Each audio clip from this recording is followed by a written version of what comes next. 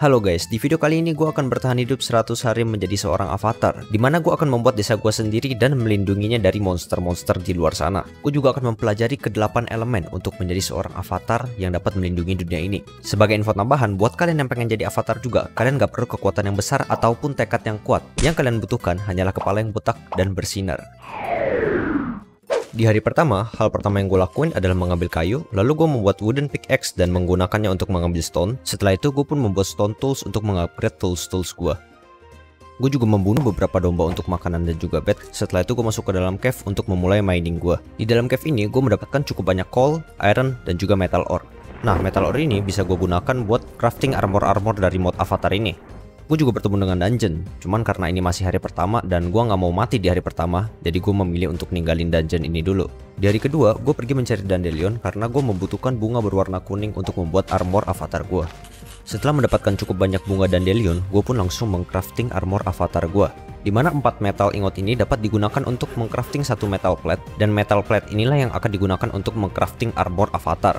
Gue juga mencampurkan metal plate ini dengan yellow dye agar metal plate-nya menjadi warna kuning. Setelah itu gue langsung membuat armor avatar gue. Dan beginilah penampilan dari gue ketika gue menggunakan armor avatar. Agak kegedean sih, cuma ya udahlah ya. Gue pun pergi berpetualang di mana gue menemukan satu village yang gak jauh dari tempat gue mining sebelumnya. Awalnya gue kira ini bakalan jadi tempat yang sangat cocok buat gue tinggal. Cuma ketika gue lagi jalan-jalan, tiba-tiba ada yang lompat. Dan ada notifikasi kalau villagernya itu lagi dipukulin sama si serpent. Sebagai seorang avatar yang bijaksana dan akan menyelamatkan dunia, tentunya gue harus mengambil keputusan yang tepat di momen seperti ini. Dan gue memilih untuk memantau dari jauh sambil memakan daging domba. Ketika gue lagi jalan-jalan, tiba-tiba gue diserang sesuatu yang gue nggak tahu. Dan ternyata itu adalah ayam dinosaurus. Dan karena gue merasa gue belum cukup kuat untuk melawannya, akhirnya gue memutuskan untuk kabur. Gue pun membuat base sementara di salah satu rumah villager karena hari sudah mulai malam. Di hari ketiga, gue melihat ada kawanan sapi, jadi gue pengen ngebunuh buat nambahin stok makanan. Dan ketika gue mau mencoba mendekat, tiba-tiba ada yang datang. Gue pun langsung mengemas barang-barang gue karena gue merasa bahwa village ini tidak aman. Di tengah perjalanan, gue juga membunuh semua hewan yang gue temui, karena selain menambah stok makanan, gue juga bisa mendapatkan scroll avatar untuk menaikkan level avatar gue. Dan akhirnya setelah begitu banyak domba-domba yang sudah dikorbankan, gue pun mendapatkan scroll pengendali udara pertama gue, dan sekarang bakal gue jelasin nih guys. Jadi, di World Avatar ini terdapat 9 scroll, di mana masing-masing scroll ini memiliki kemampuan atau kekuatannya masing-masing. 5 scroll yang berada di atas ini adalah 5 scroll utama dan 4 scroll yang di bawah adalah 4 scroll pendukung. Nah kali ini gue bakalan ngebahas 5 scroll utama di mana 5 scroll utama ini terdiri dari pengendali angin, tanah, air, api, dan universal. Nah scroll pengendali angin ini bisa gue dapatkan dengan membunuh domba, sapi, babi, dan ayam. Dan sesuai dengan namanya, scroll pengendali angin ini dapat memberikan gue kekuatan untuk mengendalikan angin. Selanjutnya scroll pengendali tanah. Nah beda sama scroll pengendali angin di mana gue membunuh hewan-hewan yang gak bersalah. Untuk mendapatkan scroll pengendali tanah gue harus membunuh monster-monster seperti spider, skeleton, dan zombie. Selanjutnya untuk scroll pengendali air gue harus membunuh squid untuk mendapatkan scrollnya. Nah untuk pengendali api gue harus membunuh monster-monster yang berada di nether. Cuman selama gue bermain gue hanya mendapatkannya dari blast. Dan yang terakhir adalah scroll universal, di mana gue bisa mendapatkannya dengan membunuh enderman. Dan sesuai dengan namanya yang universal, gue bisa mengupgrade semua elemen di avatar dengan menggunakan scroll ini. Dan begitulah penjelasan singkat dari Pupupedia. Kalau ada yang salah, kalian bisa langsung benerin aja di kolom komentar. Gue pun melanjutkan misi gue untuk membunuh domba-domba dan di sini gue berberhoki banget karena gue dapat scroll pengendali angin yang kedua. Gue pun langsung menggunakannya untuk mengupgrade skill air jump yang mana fungsinya itu bisa memberikan gue kemampuan untuk melompat tinggi. Dan scroll kedua gue, gue gunakan untuk mengupgrade skill Airblade gue, di mana fungsinya itu bisa melemparkan pedang-pedang angin kepada musuh. Gue pun mulai melatih pengendalian angin gue, yaitu yang Airblade.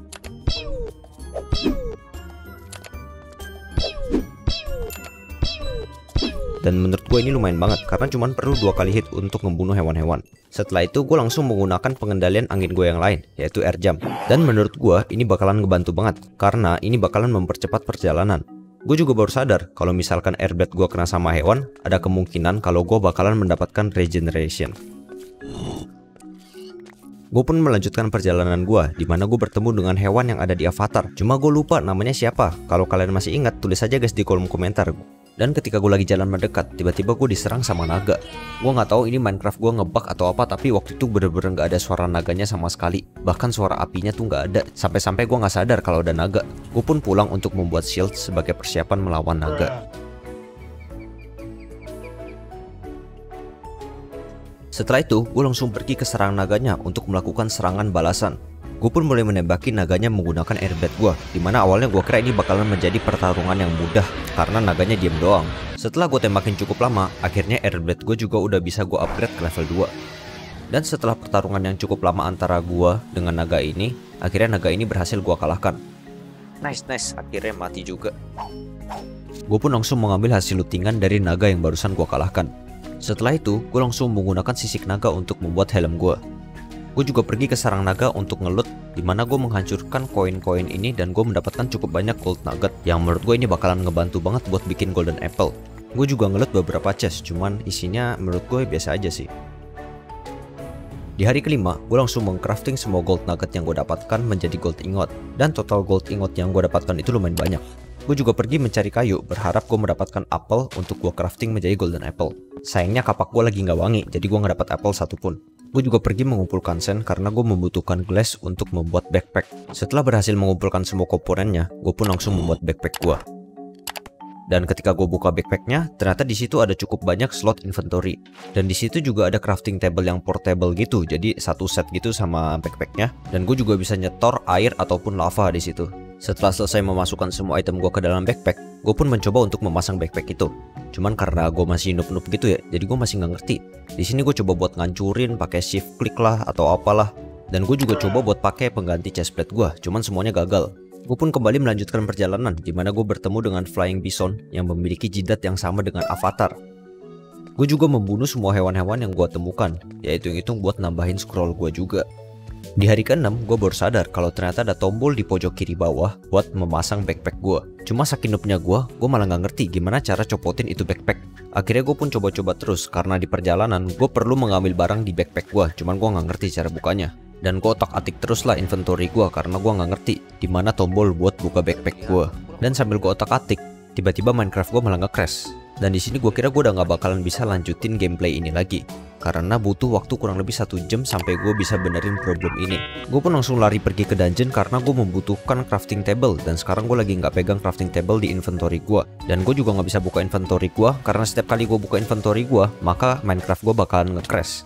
Dan ketika sampai gue langsung matiin recipe book karena kalau posisi recipe book ini lagi menyala gue nggak bisa membuka inventory gue karena bakalan nge-crash terus.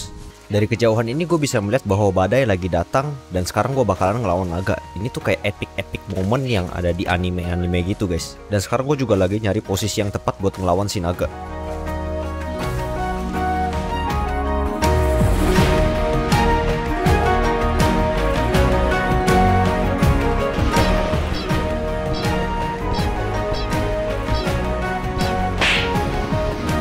Setelah pertarungan yang cukup lama di tengah badai ini, gue pun langsung ngelut naganya dan buru-buru pengen kabur karena badai sudah semakin mendekat.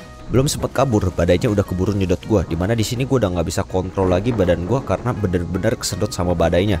Untungnya gue avatar, jadi kalau misalkan gue jatuh, gue nggak bakalan kena full damage. Jadi di sini gue cuma terbang bersama domba hitam. Setelah gue berhasil lolos dari badai, gue pun langsung looting sarang dari naga yang barusan gue lawan. Dan karena hari udah malam, gue pun milih buat tidur dulu. Di hari ketujuh, akhirnya gue udah mengerti cara menggunakan backpack. Gue pun langsung membuat gold ingot di crafting table yang ada di backpack gue. Gue juga membuka map gue untuk mendapatkan gambaran ke mana selanjutnya gue akan pergi. Dan kalian bisa lihat sendiri seberapa ganasnya badai kemarin. Di perjalanan, gue pun bertemu dengan village baru, di mana gue langsung pergi ke town hall-nya untuk meminta izin kepada kepala desa dan wakilnya agar gue diizinkan untuk tinggal di sini. Gue pun pergi berkeliling desa untuk memilih rumah kosong yang bakalan gue tinggalin. Sampai akhirnya gue mendapatkan satu rumah kosong yang menurut gue cukup luas. Gue pun langsung merapikan bagian dalam rumahnya dan meletakkan bed gue di dalam. Nggak jauh dari village, ternyata ada sarang naga. Jadi gue pun memutuskan untuk pergi ke sarang naga itu untuk membunuh naga tersebut dahulu. Setelah berhasil mengalahkan naga ini, gue pun langsung looting sebentar dan memutuskan untuk pulang karena hari udah malam.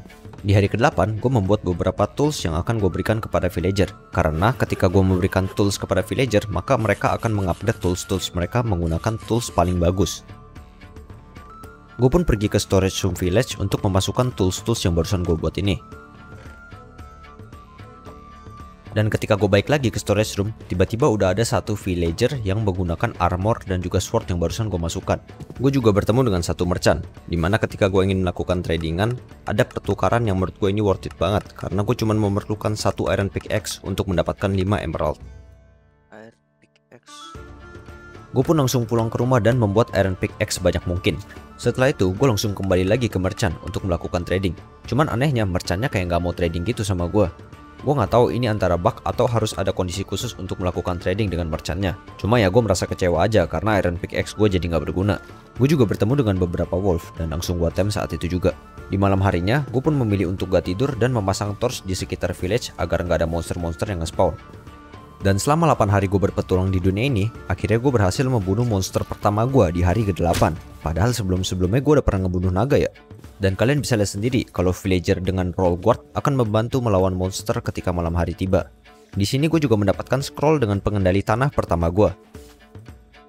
Dan di pagi harinya gue mendapatkan scroll pengendali tanah kedua gue. Setelah itu langsung gue tukarkan dengan Earth Wall dan juga Earth Control. Dan beginilah penampilan dari Earth Wall. Keren banget sih menurut gue ini.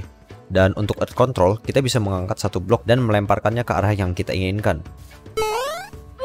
Gue juga membuat armor dari Dragon Scales yang akan gue bagikan kepada villager karena gue memiliki cukup banyak Dragon Scales yang gue nggak tahu fungsinya buat apa aja. Gue juga mendapatkan satu scroll pengendali angin dari ship yang gue bunuh. Setelah itu, gue langsung menggunakannya untuk mengupgrade Airblade gue ke level 3 Di mana tulisannya sekarang gue bisa memotong blok menggunakan Airblade gue. Cuma ketika gue coba, malahan gak ada apa-apa. Gue pun memutuskan untuk mining sebentar dan mencari cobblestone untuk menambah persediaan blok gue. Dan di malam harinya, gue melawan monster-monster untuk melatih pengendalian tanah gue.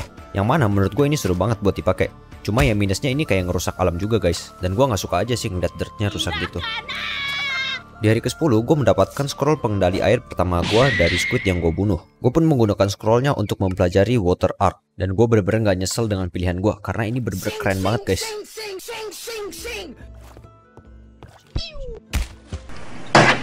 Gue juga menemukan satu telur di mana ketika gue lempar telur ya yang keluar itu ada empat anak ayam yang gue nggak tahu apakah ini langka atau sebenarnya biasa aja. Ketika gue mau ngebuild tiba-tiba hujan turun. Dan di sini gue mulai kepikiran gimana kalau misalkan desa yang udah gue bangun capek-capek diserang badai dan hancur. Jadi gue mengurungkan niat gue dan memilih untuk membuat desa di bawah tanah. Gue pun memutuskan untuk berpetualang di mana ternyata nggak jauh dari village gue ada village lain dan ketika gue lagi ngelut di storage roomnya, tiba-tiba ada suara naga. Gue pun langsung keluar dan melompat ke arah naga untuk melindungi village ini dari serangan naga. Dan ya bisa dibilang sebagai seorang avatar yang udah melegenda kayak gini, gue bisa mengalahkan naganya dengan mudah. Sebagai seorang avatar yang baik hati, tampan, dan keren, gue juga membantu villager-villager di sini untuk membangun ulang rumah mereka. Ya walaupun gue bangunnya pakai blok-blok yang terbatas ya, yang penting mereka bisa tidur gitu.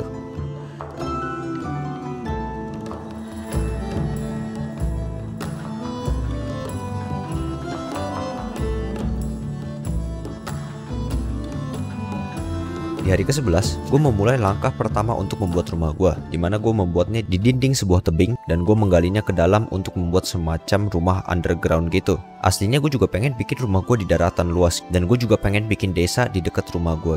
Cuman karena gue takut diserang sama badai, jadi gue memilih untuk membuat rumah ini underground dulu.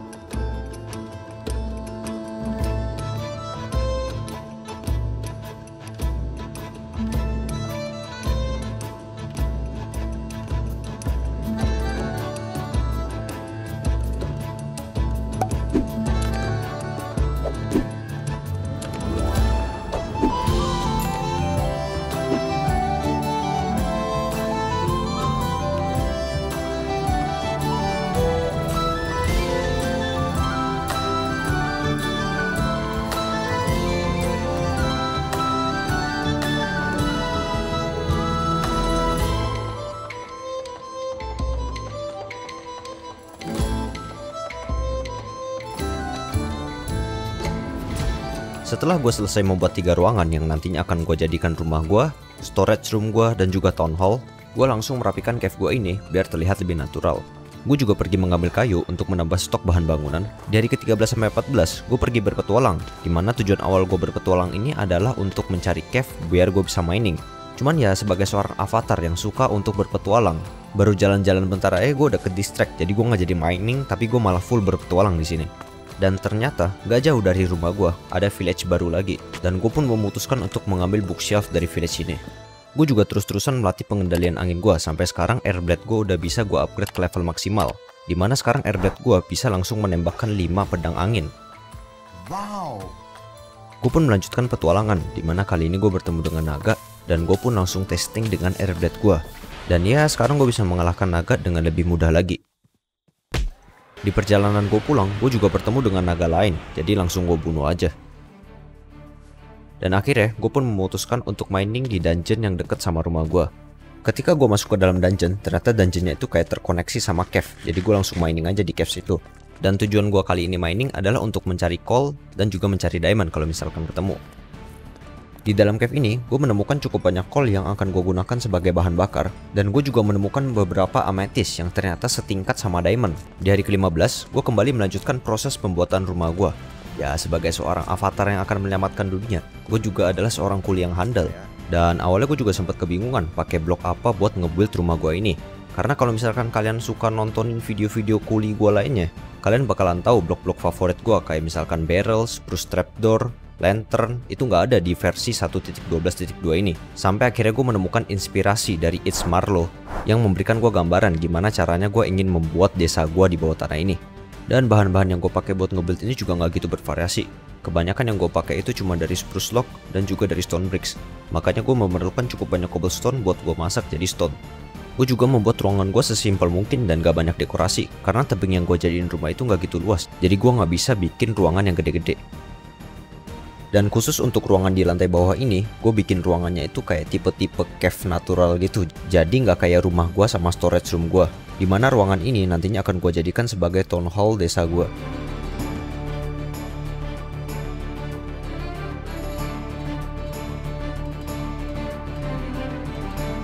Dan ketika gue lagi balik ke village buat ngambil barang, tiba-tiba ada tulisan Blood Moon is Rising. Dan buat kalian yang belum tahu apa itu Blood Moon, jadi sesuai dengan namanya, kalau lagi Blood Moon itu bulan jadi berwarna merah. Dan ketika lagi Blood Moon, jumlah monster yang nge-spawn itu semakin banyak, mereka makin kuat, makin cepat, dan pada malam hari itu gue nggak bisa tidur. Jadi gue harus melewati malam itu dengan melawan monster ataupun ngumpet di dalam rumah gue. Sebagai seorang avatar yang akan menyelamatkan dunia, gue pun memutuskan untuk bermalaman di village untuk melindungi para villager. Di mana sebelum malam hari benar-benar tiba, gue mencoba untuk memasang torch di atap-atap rumah villager biar nggak ada monster yang nge-spawn. Dan beginilah kekacauan ketika lagi Blood Moon. Lari ada wibu, wibu, lari. Jujur aja, sebenarnya sebagai seorang avatar, gue bisa mengalahkan monster-monster di sini dengan cukup mudah. Cuman yang jadi permasalahannya adalah villager-villager di sini tuh pada di luar rumah dan juga monsternya itu bisa nge-spawn di tempat yang bahkan udah gue kasih torch.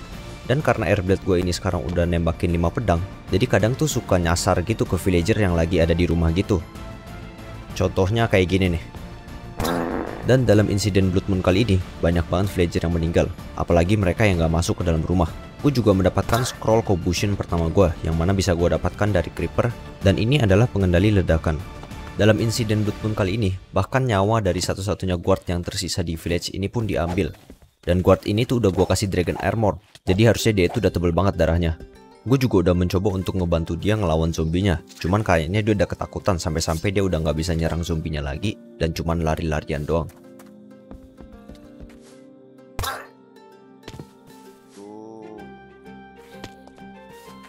Karena kebanyakan villager yang berada di luar rumah mereka udah meninggal, gue pun menghabiskan malam itu dengan melatih kemampuan pengendalian ledakan gue. Cuma ya, gue agak kecewa sih karena damage-nya ternyata kecil banget. Di hari ke-18, gue pun memutuskan untuk pergi ke Nether. Cuman karena gue belum punya flint, jadi gue pun mencari flint di dungeon dekat village. Setelah itu, gue langsung membuat portal ke Nether di sebelah kamar gue. Gue juga memasang fence gate biar nantinya ketika desa gue udah ditinggalin, villager-villagernya nggak masuk ke dalam portal. Dan karena hari udah malam, gue pun memilih untuk tidur dulu. Keesokan harinya, gue pun langsung masuk ke dalam nether portal dan ternyata gue nge-spawn di biome baru, yang kayaknya biome dari salah satu mod yang gue install. Di sini gue menemukan banyak creeper berwarna merah yang namanya itu spore creeper. Gue juga ketemu sama monster baru yang bentukannya itu muter-muter terus kayak Beyblade. Gue juga mengambil beberapa glowstone yang bakalan gue pakai buat building di rumah.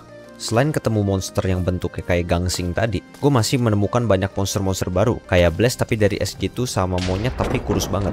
Setelah petualangan yang cukup lama, akhirnya gue pun menemukan Nether Fortress. Sayangnya di Nether Fortress ini gue nggak menemukan satupun Blaze Spawner. Jadi gue pun harus berkeliling untuk menemukan Blaze yang baru nge-spawn karena gue membutuhkan Blaze Rodnya dan juga untuk mendapatkan scroll pengendali api. Setelah gue membunuh cukup banyak Blaze, akhirnya gue pun mendapatkan scroll pengendali api pertama gue.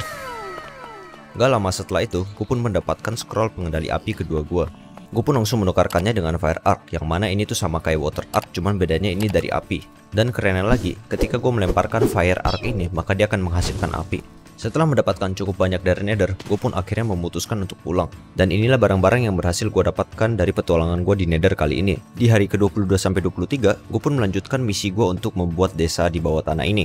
Dan ternyata di bawah rumah gue ini tuh kayak ada kolam kecil gitu. Jadi sebenarnya agak ngeganggu gitu buat proses pembuatan desa gue Awalnya gue mikirnya tempat ini bakalan gue tutup aja. Cuman karena jarak antara tiap ruangan itu agak jauh Jadi gue pun memutuskan untuk membuat sebuah kamar kecil di sini.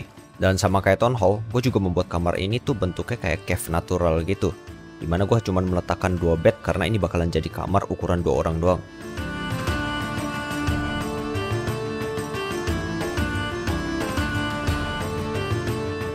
Setelah selesai membuat kamar kecil yang pertama, gue pun memutuskan untuk membuat kamar kecil yang kedua. Di mana ternyata di sini gue menemukan coal. Dan karena sekarang gue lagi bener-bener butuh banget sama coal, jadi gue pun mining ini coal. Setelah gue selesai mining ini coal, di situ gue merasa males buat nambel lubang dari coal ini. Dan akhirnya gue pun memutuskan yang awalnya gue pengen membuat kamar kecil, gue bikin jadi kamar yang gede. Dan gue malah lebih suka sama tema kamar ini, karena kayak ada lantai-lantainya gitu. Dan bisa dibilang ini adalah kamar favorit gue selama gue bermain 100 hari sebagai avatar ini.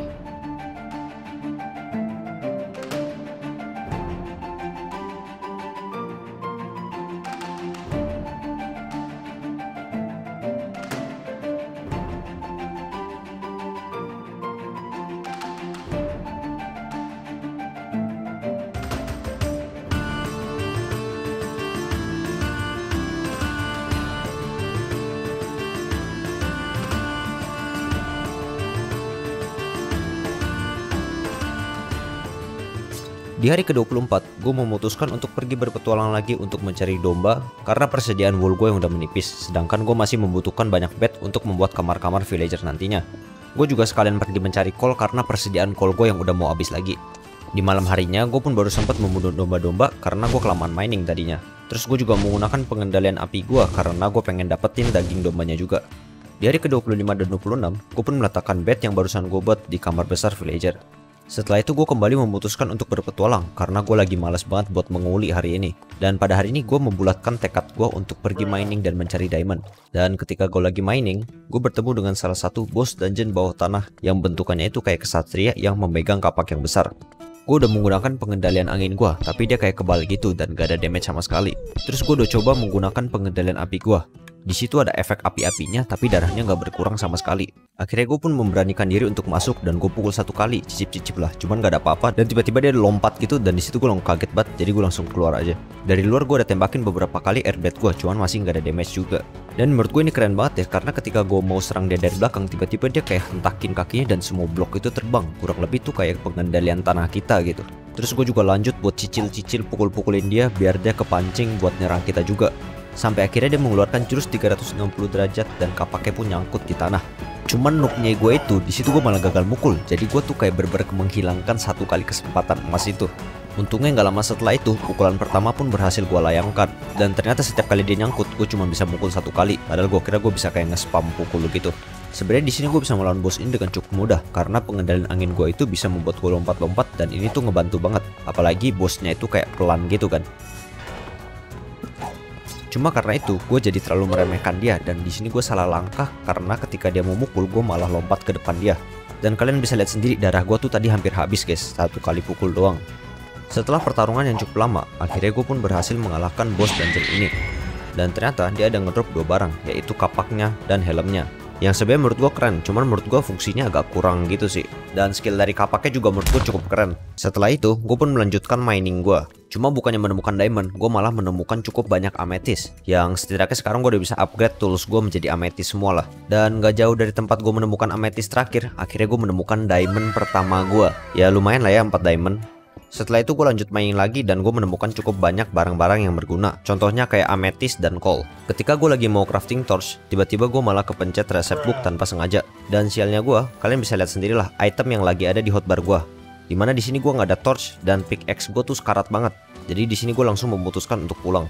Gue bahkan sampai harus mengganti settingan gue karena gue suka banget kepencet tombol E. Dan karena saking gelap ya, gue bahkan sampai harus menggunakan pengendalian api gue untuk menerangi jalan gue. Karena gue nggak menemukan jalan keluar, akhirnya gue pun memutuskan untuk mining ke atas dan gue menggunakan pengendalian api gue sebagai torch. Dan gak lama setelah itu, pickaxe gue pun akhirnya hancur. Di sini gue sempat kebingungan bentar. Untungnya gue ada IQ 999 momen, di mana akhirnya gue kepikiran untuk menggunakan pengendalian tanah gue sebagai jalan untuk keluar dari cave ini. Dan ternyata work guys. Bahkan ini lebih cepat daripada gue pakai iron pickaxe. Setelah berhasil keluar, gue pun langsung lari ke village terdekat untuk mencari crafting table. Di mana setelah menemukannya, gue langsung mematikan resep book gue. Gue juga sekalian tidur karena hari udah malam. Di hari ke-27 ketika gue lagi ngeliat-ngeliat skill gue, gue baru sadar kalau ternyata skill pengendalian tanah gue yang kemarin bisa memberikan gue efek enchant fortune 4 yang menurut gue lebih worth it daripada gue pakai pickaxe. Setelah itu, gue pun memutuskan untuk pulang untuk merapikan barang-barang gue karena gue ngerasa kalau barang-barang gue ini udah berantakan banget. Setelah itu, gue juga memasang sign di tiap chest untuk mempermudah gue dalam mengorganisir barang gue nantinya. Gue juga memindahkan satu anjing dari rumah lama gue ke rumah baru gue. Ya hitung-hitung buat nemenin aja sih biar nggak terlalu sepi sepi di rumah gue yang baru ini. Di hari ke-28 sampai 29, gue membuat portal untuk pergi ke dimensi Twilight Forest, di mana di sini gue memerlukan Dandelion, yang untungnya dekat rumah gue itu banyak banget Dandelion. Setelah itu, gue harus memasukkan air dan melemparkan diamond ke dalam kolam kecil ini. Gue pun langsung masuk ke dalam portalnya, dan gue langsung disambut oleh naga. Dan sebagai seorang avatar yang sudah handal, gue bisa mengalahkan naga ini dengan cukup mudah. Nggak tahu kenapa setelah gue berhasil mengalahkan naga, di situ gue kena damage terus. Dan gue kira gue ngebug kena api, tapi pas gue pakein air itu gue masih kena damage-nya. Dan gue juga udah ngecek armor gue apakah ada yang salah atau enggak, dan ternyata nggak ada apa-apa. Dan di situ gue bingung banget. Tiba-tiba ada makhluk biru gitu muncul di belakang gue dan di situ gue kaget jadi gue langsung lompat aja. Dan anehnya di sini tuh gue nggak kena damage, jadi gue cuma kena damage di bagian gunung itu. Terus gue pun naik lagi dan gue membunuh makhluk biru itu dan gue mendapatkan satu buku. Setelah itu gue pergi ngelut naganya dan melanjutkan petualangan gue. Di mana gue mengambil beberapa botol dan kunang-kunang sebagai dekorasi di rumah gue. Setelah itu gue kembali lagi ke gunung karena gue kira damage yang tadi gue terima itu cuma bug doang. Gue pun bertemu lagi dengan makhluk biru sebelumnya, di mana di sini gue baru kepikiran kalau misalkan buku yang dia drop itu ada informasinya. Gue pun membuka buku tersebut yang inti dari buku tersebut itu menjelaskan bahwa daerah tadi itu adalah daerah yang toksik dan gue harus pergi ke daerah swamp hutan yang gelap, dan daerah yang bersalju untuk mencari clue terlebih dahulu. Akhirnya gue pun langsung pergi ke biome swamp di mana gue menemukan lagi makhluk biru tersebut dan gue langsung membaca bukunya. Dan kali ini gue nggak ngerti maksud dari buku ini itu apa. Yang gue ngerti itu cuman kalau buku ini itu mengarahkan kita harus pergi ke daerah yang memiliki bangunan dengan atap yang lancip. Gue pun melanjutkan petualangan gue dan kali ini gue bertemu dengan sarang Hydra. Dan ketika gue lagi ngeliat dari luar, tiba-tiba dia menyeburkan bisa beracunnya. Dan di situ gue langsung kena efek poison yang untungnya bentar doang ternyata. Gue pun langsung melakukan serangan balasan di mana gue menggunakan pengendalian api gue untuk menyerang Hydra. Karena setahu gue si Hydra ini harus dibunuh dengan api. Karena serangan pengendalian angin gue, akhirnya Hydranya pun terpental dari sarangnya. Gue pun masuk ke dalam dan mendapatkan lootingan yang menurut gue lumayan bagus. Dan di sini gue juga baru sadar karena gue makan terus-terusan. Ternyata dari tadi itu gue terkena efek hunger. Dan karena stok makanan gue yang terbatas, gue pun memilih untuk keluar dari biome swamp ini dulu. Setelah itu, gue mulai berkeliling di sekitaran swamp untuk memulai misi gue mencari bangunan dengan atap yang runcing. Di perjalanan, gue bertemu dengan labirin yang menurut gue lumayan gampang buat dikalahkan, di mana isi dari labirin ini itu cuma wolf-wolf dan juga beberapa chest. Gue pun kembali melanjutkan perjalanan gue, dan kali ini gue bertemu dengan sarang naga level 5. Karena gue udah sering lawan naga level 3 dan gue menang dengan gampang, gue pun penasaran seberapa kuat si naga level 5 ini, dan gue pun mencoba menghancurkan sarangnya. Gue pun menggunakan pengendalian angin gue untuk menembak si naga, dan ketika naganya bangun, itu suaranya bener-bener serem banget guys, dan gue juga sempet ngelek. Awalnya, gue kirain si naga nggak bisa keluar dari sarangnya, jadi gue bisa tembakin dengan gampang dari atas. Bahkan gue masih sempat mining dulu ketika naganya udah bangun.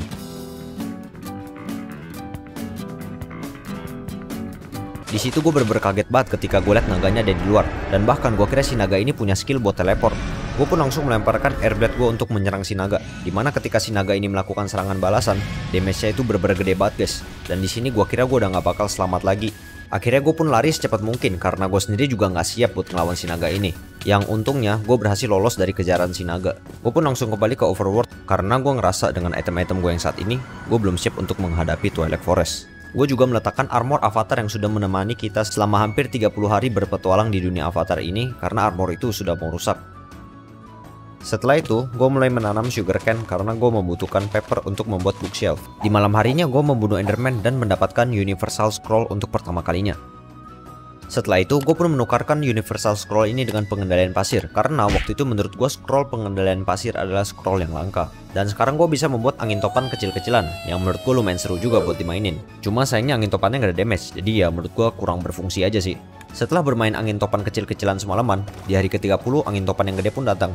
Gue nggak tahu ini ada hubungannya sama yang kemarin atau enggak. Cuma kalau ada hubungannya sih agak serem juga sih guys. Dan di sini gue bener-bener takut banget. Ya gue takut karena arah angin topannya tuh kayak mengarah ke arah village yang di dekat rumah gue. Ya walaupun gue udah nggak tinggal di situ sih, cuman ya gue sempet tinggal di situ gitu kan. Jadi di sini gue cuman duduk diem ngeliatin arah angin topannya aja sih. Dan setelah badainya mendekat di sini gue nggak ngeliat ada yang hancur gitu kan.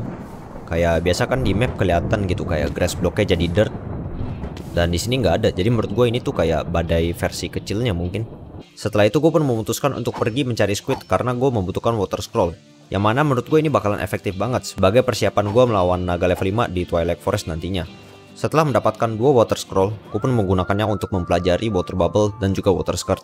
Dan fungsi dari water bubble ini jadi gue kayak bisa mengambil air dan menggunakan pengendalian air gue sebagai kayak bucket gitu. Sesuai dengan namanya, untuk water skate gue bisa berjalan di atas air, ya kayak main skating gitulah. Dan menurut gue ini seru banget. Di hari ke-31, gue kebanyakan menghabiskan waktu gue untuk memperluas village gue. Di mana gue membuat kandang ayam pertama gue karena gue ingin mendapatkan rotten egg yang ternyata bisa menghasilkan ayam dinosaurus yang pernah kita temukan di savana sebelumnya. Dan ayam tersebut itu bisa ngedrop witherbone yang menurut gue bakalan berguna banget. Sambil membuat kandang ayam, gue juga melatih kemampuan pengendalian tanah gue. Karena gue juga ngincer level 4-nya yang bisa memberikan kita efek fortune 4. Di sini gue bikin kandang ayamnya nggak gede dan gue juga bikin simple dengan tema yang sama kayak town hall dan juga dua kamar sebelumnya, yaitu cave natural gitu. Dan waktu itu gue lupa nyalain replay mode, jadi gue belum bisa bikin video sinematik pembuatan kandang ayam ini. Setelah selesai membuat kandang ayam, gue juga membuat jalur utama buat villager gue nantinya masuk. Yang mana ketika gue bikin jalurnya, malah nembus ke bagian bawah town hall. Di sini gue sempat bolak-balik keluar masuk village untuk mencari lokasi yang tepat untuk membuat jalur masuk villager gue nantinya. Dan setelah gue riset cukup lama, akhirnya gue menemukan jalur yang cocok. Gue pun mulai menggali jalur tersebut sambil melatih kemampuan pengendalian tanah gue. Sampai akhirnya pengendalian tanah gue kali ini bisa gue upgrade ke level maksimal. Nggak pakai lama gue pun langsung menukarkan scroll gue agar level maksimal ini tercapai. Setelah itu gue pun kembali lanjut menggali jalur utama ini. Sampai akhirnya jalannya terbuka dan menurut gue ini bakalan jadi struktur yang bagus dengan sedikit sentuhan tambahan. Dan hasil kasar dari jalur utama village gue itu kurang lebih kayak gini lah. Gue juga sambil dekor-dekor lagi sih. Di hari ke-33 gue memulai project utama gue untuk membuat farm yang nantinya akan menjadi sumber utama bagi villager gue untuk mencari makanan. Dan sama kayak kandang ayam, gue juga bikin farm ini nggak gitu gede dengan style-style kayak cave natural gitu karena gue emang gak jago sih bikin building yang gede-gede gitu. Makanya kalau kalian lihat gue ngebuild itu biasanya ukurannya nggak gitu gede kan kayak lebih ke arah kecil gitulah di sini gue juga pakai serangga yang gue bawa dari Twilight Forest sebagai perangan karena biar lebih menekankan efek-efek naturalnya sih. Gue juga sempat pergi ke village dekat rumah gue buat memanen wheat, potato, dan carrot karena persediaan seed di rumah gue itu masih dikit banget. Setelah mendapatkan cukup banyak seeds, gue langsung menanamnya di farm yang barusan gue buat. Gue juga menggunakan sisa seeds yang gue dapatkan dari village untuk memberikan makan ayam. Mengambil kayu karena persediaan kayu gue yang udah menipis. Setelah itu gue memulai proses pembuatan enchanting room, dimulai dengan membuat bookshelf itu sendiri. Gue pun mendapatkan 8 bookshelf yang langsung gue letakkan di enchanting room yang telah gue buat. Setelah itu gue langsung membuat enchantment table dan meletakkannya di enchanting room. Gue juga memberikan sedikit dekorasi dan menutup enchanting room agar lebih enak dilihat. Di hari ke-35, gue memulai proses pembuatan ruangan inti terakhir dalam suatu village, yaitu storage room. Cuman ketika gue pengen bikin jalannya, di bawah desa gue itu nggak taunya cave yang gede banget. Dan karena gue nggak mau ada zombie atau monster apa pun yang nge-spawn di dekat village gue, jadi gue pun memutuskan untuk menerangi cave ini terlebih dahulu sampai bener-bener jauh banget. Setelah itu gue juga menutup beberapa bagian di cave ini biar nggak ada zombie yang nge-spawn, khususnya di bagian bawah jalur yang bakalan gue lewatin ini. Setelah selesai gue tutupin, gue pun akhirnya memulai proses pembuatan storage room. Yang awalnya gue pengen bikin storage room ini lumayan gede karena gue kira barang-barang dari villager gue nantinya bakalan banyak. Cuma ketika gue bikin agak gede, nggak taunya malah tabrakan sama ruangan lainnya. Jadi akhirnya ukuran dari storage room ini pun gue buat secukupnya aja. Dan desain dari storage room ini tuh gue bikin mirip sama desain storage room pribadi gue.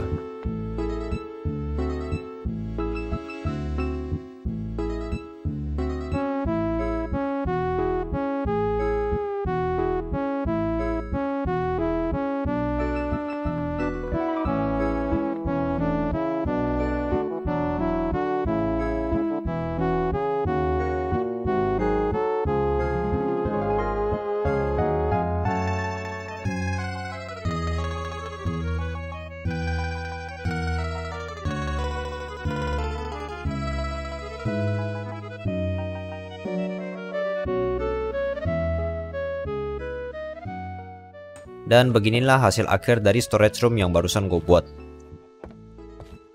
Setelah itu gue pergi mencari kayu karena persediaan kayu gue yang udah mau habis lagi. Dan di malam harinya gue kembali meletakkan beberapa torch di sekitaran rumah gue karena sebentar lagi village gue akan aktif dan bakalan ada beberapa villager yang tinggal di sini. Di hari ke-37 gue memulai petualangan gue lagi untuk mencari sapi dan juga squid karena gue membutuhkan leather dan juga water scroll. Setelah membunuh cukup banyak squid, gue pun akhirnya mendapatkan 3 water scroll yang menurut gue angka itu udah cukup banyak. Setelah itu gue juga melatih kemampuan pengendalian air gue yaitu water bubble karena water bubble ini gampang buat dinaikin levelnya. Dan benar aja, baru gue latih bentar tiba-tiba gue udah bisa naik naikin level water bubble gue. Dan setelah gue naikin levelnya dua kali, gue pun akhirnya bisa mencapai level maksimal di water bubble. Di mana di sini tulisannya itu gue bisa menggunakan water bubble tanpa menggunakan air. Itu kalau bahasa Inggris gue nggak salah ya. Yang menurut gue ini bakalan worth it banget ketika gue melawan naga api. Cuma ketika gue coba, malahan gak keluar si water bubble ya. Dan di sini gue sebenarnya agak kecewa sih. Akhirnya gue pun melanjutkan perjalanan gue dan di sini gue bertemu dengan biome yang baru. Dan baru aja gue selesai naik ke gunungnya, gue udah melihat naga es dari kejauhan. Gak pakai lama gue pun langsung maju dan menyerang naga es ini. Dan ya kayak biasa, gue udah bisa menangani naga level 3 dengan mudah. Untungnya di perjalanan kali ini gue ada membawa water bottle, jadi gue bisa mengambil darah dari naga es ini. Gue juga sempat ngelut sarang dari naga es ini, cuma gue nggak menemukan banyak hal yang berguna. Gue pun melanjutkan petualangan gue, di mana selama perjalanan gue bertemu dengan dua naga api yang berbeda dan gue bisa mengalahkan kedua naga api itu dengan mudah. Gue pun bertemu dengan biome desert dan gue mengambil beberapa kaktus yang akan gue bawa pulang. Dan gak jauh dari situ gue bertemu dengan village. Di village ini gue mengambil beberapa bookshelf untuk enchanting room di rumah gue. Dan gak jauh dari situ gue bertemu dengan Baroka, yang kalau nggak salah kalian pernah komen tuh di video 100 hari sebelum gue itu kalau gue bisa melakukan trading dengan Baroka ini. Cuma baru jalan-jalan di sekitarnya aja gue udah kena serang dan gue nggak tahu apakah harus ada kondisi khusus biar gue bisa trading gitu sama dia. Dan ketika gue lagi ngintip gitu, ternyata si Barako ini warna merah kayak Balmon no skin gitu dah. Dan seingat gue, terakhir kali gue ketemu si Barako ini adalah warna kuning. Ya mungkin karena dia warna merah kali ya, dia jadi galak gitu. Dan karena si Barakonya yang ngeselin, akhirnya gue pun melakukan serangan balasan karena level airblade gue yang udah maksimal, gue pun bisa mengalahkan Barako dengan mudah. Dan di sini gue juga mendapatkan helmnya. Pas banget ketika gue selesai melawan Barako, ada badai besar yang datang. Yang untungnya badainya itu nggak lewat pas tadi gue lagi ngelawan si Barako, karena kalau nggak pasti bakalan kacau balau. Dan dilihat dari tekstur grass yang jadi dirt, gue yakin kalau ini adalah badai yang bisa menghancurkan segalanya yang dia lewatin. Dari kejauhan, gue ngeliat ada naga yang datang, dan gue penasaran gimana sih rasanya ngelawan naga di tengah-tengah badai. Gue pun langsung mendekat dan terjadilah pertarungan antara gue dengan naga, yang ternyata ada naga lain di sebelahnya. Jadi ini antara gue melawan dua naga api. Dan bisa dibilang Airblade ini OP banget Karena selain dia memberikan damage yang gede Dia juga memberikan efek knockback yang menurut gue lumayan berguna banget Dan akhirnya gue pun bisa mengalahkan kedua naga ini dengan mudah Gue juga sempat keliling di sekitar savana untuk mencari ayam dinosaurus Cuman sayangnya gue nggak ketemu dan gue memutuskan untuk pulang di hari ke-40, gue mengcrafting bookshelf dari bahan-bahan yang gue dapatkan kemarin. Setelah itu gue langsung meletakkan bookshelf tersebut di dalam enchanting room dan gue juga langsung mengenchant beberapa item yang biasanya gue pakai. Di mana gue mendapatkan beberapa enchantment yang menurut gue lumayan bagus, khususnya di bagian armor dan juga pickaxe. Setelah itu, gue pun pergi ke kandang ayam dan mendapatkan rotten egg pertama gue. Cuma sayangnya ketika gue lempar telurnya nggak keluar ayam dinosaurusnya. Dan ketika gue lagi jalan-jalan di sekitar desa, Blood Moon kedua pun tiba. Dari dalam cave gue, gue melihat sudah banyak monster-monster yang nge-spawn di daerah yang gak gue kasih torch. Dan gue pun menggunakan kesempatan Blood Moon ini untuk menaikkan level avatar dan juga mendapatkan EXP. Dan di sini gue kebanyakan melatih pengendalian air gue dan juga pengendalian tanah. Di mana menurut gue pengendalian tanah ini memiliki visual yang menurut gue keren banget. Gue pun berhasil memaksimalkan salah satu level pengendalian tanah gue, yaitu Earth Spike. Dan menurut gue, efek dari Earth Spike ini keren parah. Di hari ke-41, gue membuat helm baru menggunakan kulit naga berwarna bronze biar warnanya lebih cocok sama warna armor avatar gue. Gue juga membuat boots dari sisik naga karena ternyata sepatu dari sisik naga lebih kuat daripada sepatunya avatar. Setelah itu, gue pergi mengencan kedua armor tersebut dan mendapatkan hasil yang lumayan.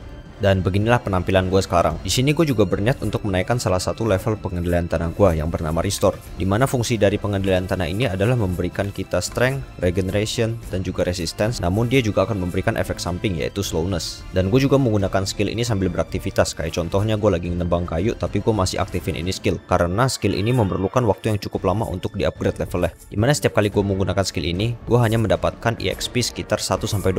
Jadi kurang lebih gue perlu melakukan skill ini sebanyak 75-100 kali untuk naik level selanjutnya. Di hari ke-42, skill restore gue pun akhirnya naik level, di mana sekarang dia bisa memberikan efek strength ketika gue aktifin. Gue pun langsung menukarkan scroll gue untuk mempelajari skill level 3-nya. Setelah itu gue pergi memberi makan ayam dan memutuskan untuk pergi ke Twilight Forest untuk kedua kalinya. Karena gue ngerasa kalau persiapan gue saat ini udah cukup untuk menghadapi naga level 5. Di Twilight Forest ini, gue mengambil beberapa botol dan juga kunang-kunang karena persediaan botol dan kunang-kunang di rumah gue itu udah menipis banget. Setelah itu, gue memulai perjalanan panjang gue untuk mencari naga api yang kemarin gue lawan. Ketika gue sampai, kalian bisa lihat sendiri, api-api dari pertarungan sebelumnya itu masih ada dan naganya itu lagi tertidur. Dan ketika gue melihat ke bawah, gue juga baru sadar kalau ternyata naganya itu kemarin bukan teleport, tapi dia menggali jalan untuk keluar. Gue pun memakan golden apple dan langsung menerjang ke arah naga yang sedang tertidur itu.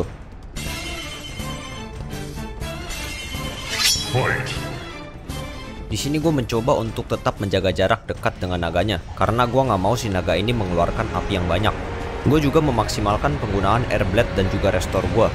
Karena persiapan gue yang udah matang, kayak misalkan armor gue yang udah di-enchant, terus gue juga udah makan golden apple, dan skill restore gue udah level 3. Bisa dibilang itu sekarang gue udah sakit, tapi juga tebel. Di pertarungan kali ini, gue bisa menjaga posisi gue dengan cukup baik, dan gue juga hoki karena naganya nggak terbang, jadi gue bisa melancarkan serangan gue dengan lebih mudah. Dan setelah pertarungan yang cukup lama antara gue melawan naga level 5 ini, akhirnya gue pun berhasil mengalahkan naga ini. Gue juga sempat bergaya sebentar di depan naga. Ya hitung-hitung sebagai kenang-kenangan lah sebagai naga pertama level 5 yang udah gue bunuh. Gue pun langsung loot naga level 5 ini, di mana gue mendapatkan cukup banyak skills. Cuman sayangnya, gue nggak mendapatkan telur naga.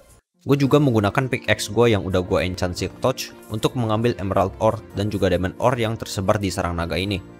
Setelah itu gue juga masuk ke dalam sarang naganya yang benar-benar terisi penuh dengan zombie dan juga skeleton. Setelah membunuh semua monster di dalam sarang naga ini, gue pun langsung ngelut chest-chest yang berada di dalam sarang naga ini. Dan menurut gue isinya bisa dibilang kurang bagus untuk ukuran sarang naga level 5. Gue pun melanjutkan petualangan gue di Twilight Forest ini dan gue menemukan sarang naga level 5 yang kedua. Gue pun menggali lubang yang cukup besar agar gue bisa melihat posisi dari naga ini. Dan kayak biasa, gue memakan golden apple sebagai persiapan dan melakukan serangan pertama. Di sini gue langsung nge-spam air blade gue, biar ketika dia keluar darahnya itu udah nggak penuh. Dan gue nggak tahu kenapa ya, kalau misalkan gue denger suara naga level 5 itu, jantung gue itu kayak geter gitu kayak kayak ada efek fear lah. Pertarungan gue kali ini bisa dibilang lebih susah daripada pertarungan sebelumnya. Karena di daerah ini itu banyak lubang dan kali ini naganya juga terbang. Untungnya naganya sempat nyangkut gitu ke dalam air, jadi dia nggak bisa gerak dan gue bisa spam air blade gue. Di situ gue langsung ngelut naganya, berharap mendapatkan telur naga. Cuma kali ini gue juga belum beruntung. Dan sama kayak sebelumnya, gue masuk ke dalam sarang naga dan membasmi semua monster yang ada di dalam. Terus gue loot chestnya dan mengambil emerald ore dan juga diamond ore. Bisa dibilang hasil lootingan kali ini lebih bagus daripada hasil lootingan sebelumnya. Karena di chest kali ini lebih banyak barang-barang diamond dan juga ada banyak enchanted book yang lebih berguna. Setelah itu, gue pun memutuskan untuk pulang karena armor-armor gue udah sekarat semua. Setibanya di rumah, gue langsung meletakkan semua emerald dan juga diamond ore yang gue dapatkan selama petualangan gue di Twilight Forest. Gue pun menggunakan pengendalian tanah gue untuk menghancurkan emerald dan juga diamond ore yang gue dapatkan dari Twilight Forest. Sayangnya, pengendalian tanah ini tidak bisa menghancurkan diamond ore. Dan di sini gue mendapatkan hampir 2 stack emerald yang menurut gue bakal ngebantu banget karena kalau kita pengen bikin village, kita memerlukan banyak emerald di mod ini. Karena armor avatar gue udah mau rusak lagi, gue pun memutuskan untuk meletakkannya di armor stand sebagai kenang-kenangan. Dan di sini gue mulai kepikiran kalau misalkan armor avatarnya rusak mulu itu lumayan boros. Jadi gue pun mengganti armor avatar gue dengan armor naga. Gue pun mengenchant semua barang-barang gue kecuali chestplate karena pada saat itu chestplate gue nggak mendapatkan enchantment yang bagus. Setelah itu, gue juga mengcrafting town hall untuk pembuatan desa. Dan gue pun langsung meletakkannya di town hall yang udah gue sediakan. Pas gue ngeliat itemnya udah ada glowing effect gitu, gue pun langsung membuka pintunya. Cuman nggak terjadi apa-apa, jadi gue tutup lagi, dan gue buka lagi. Nggak ada apa-apa, tutup lagi, dan gue buka lagi. Hello there. Ternyata di sebelah arsiteknya muncul satu chest yang berisikan dua jobs dan juga dua buildings. Gue pun meletakkan kamar pertama gue, cuman nggak terjadi apa-apa dan warnanya juga nggak berubah jadi glowing gitu. Dan pas gue pasang di storage room, warna dari item frame-nya langsung berubah. Gue pun langsung mencoba untuk memasang ulang kamar kecil, cuma sayangnya masih nggak terjadi apa-apa. Akhirnya gue pun mencoba untuk memindahkan item frame dari kamar kecil ke kamar yang besar, dan item frame-nya pun langsung jadi glowing. Gue pun langsung pergi ke town hall untuk melakukan trading dengan arsitek, di mana gue ingin membeli kamar dengan ukuran 6 orang. Dan ketika gue pasang, ternyata kasur yang terdeteksi itu hanya dua kasur, sedangkan kasur-kasur yang berada di lantai lainnya itu tidak terdeteksi. Dan di sini pun gue baru sadar, kalau ternyata item frame-nya itu harus berada di tingkat yang sama dengan objek yang akan kita gunakan di ruangan tersebut. Gue pun langsung memperbaiki kasur di kamar kecil agar berada di tingkat yang sama dengan item frame. Dan untuk kamar yang besar, di sini sebenarnya gue agak kecewa juga sih karena udah dibikin capek-capek cuman nggak bisa dipakai gitu kan. Jadi gue coba taruh kasurnya ke bawah dan setelah warnanya menjadi kuning, gue menghancurkannya dan meletakkannya kembali di posisi awalnya. Setelah itu, gue kembali mendekorasi kamar kecil, di mana sekarang gue membuat kamarnya menjadi lebih luas biar lebih enak buat dilewatin. Dan beginilah hasil dari kamar kecil yang baru. Di hari ke-46, gue pergi ke village di sebelah rumah gue, di mana di sini terjadi satu hal yang aneh, yaitu semua villager yang berada di desa ini tidak bergerak, bahkan town hallnya pun kosong, mirip kayak desa mati gitulah. Yang mana mungkin penyebab utama dari terjadinya hal ini adalah karena gue membuat desa yang berdekatan dengan desa ini. Jadi kayak cangnya itu kayak tabrakan gitulah. Dan di sini gue ngerasa sedih sih, karena desa ini tuh udah gue anggap sebagai rumah gue sendiri gitu. Tapi malah gue juga yang ngehancurin ini desa.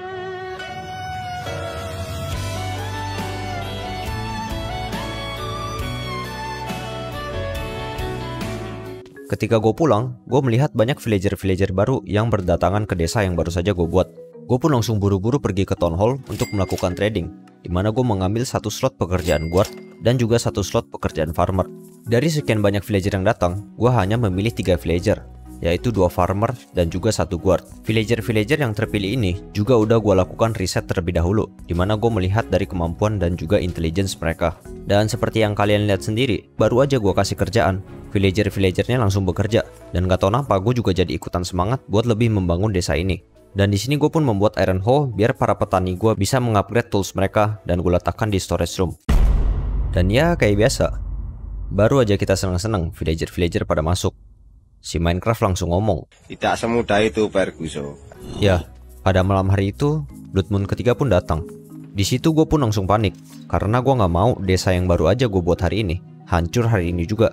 Dan gue pun langsung memindahkan barang-barang yang berada di chest atas ataupun chest tengah, gue pindahkan ke bawah. Karena ternyata villager-villager di sini juga hanya bisa mengakses chest yang berada di bawah doang. Setelah itu gue pun langsung pergi ke pintu utama, di mana gue menjaga pintu utama ini biar nggak ada monster ataupun zombie yang masuk. Pada malam hari itu gue nggak pergi jauh-jauh dari pintu utama gue, karena gue nggak mau ada yang kelolosan. Dan gue juga takut kalau misalkan nantinya villager gue ada yang pergi keluar. Bisa dibilang pada Blood Moon kali ini gue masih cukup beruntung. Karena walaupun gue udah punya villager, tapi jumlah villager gue ini masih sangat sedikit. Dan karena gue hanya memiliki satu pintu utama, gue pun bisa memantau desa gue dengan lebih mudah. Dan pada serangan Blood Moon kali ini, gue berhasil melindungi village gue sampai pagi hari tiba. Cuma mulai sekarang, petualangan gue ini akan menjadi lebih sulit. Mengikuti dengan perkembangan desa gue yang akan semakin besar. Yang artinya jumlah hal yang harus gue lindungin ini akan semakin banyak. Dan gue gak tahu apakah gue dan villager gue akan berhasil bertahan hidup.